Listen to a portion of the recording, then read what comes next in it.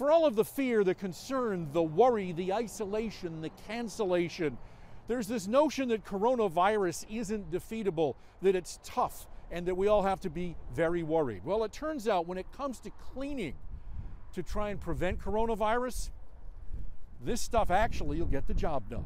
Becky Arnold of Plymouth runs ANC Property Services, a home and industrial cleaning company. She just completed World Cleaning Industry Association coronavirus training and came away impressed. Um, the thing that surprised me the most regarding it is how easy it is to kill. She and they call corona an envelope virus or level 1 threat.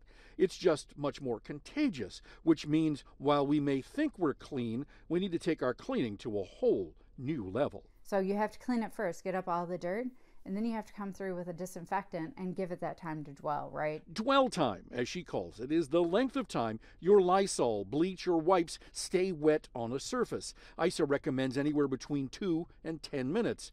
Wash your hands like a surgeon. Then do what she calls a terminal clean by disinfecting touch points, wall and light switches, door handles, toilet tank plungers. Because if left unchecked, corona is, in fact, powerful. This will stay alive on surfaces for up to six days. So we need to take that in, into consideration when we're cleaning. So if a restaurant hosts a confirmed case, to properly clean, hazmat suit wearing crews will fan out using spray disinfectant to attack corona floor to ceiling. In Plymouth, Rod Meloni, Local 4.